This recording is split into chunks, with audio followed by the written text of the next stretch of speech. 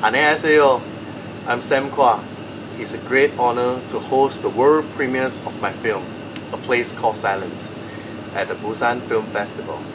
Thank you for the opportunity. I'm now in Qingdao shooting my third film.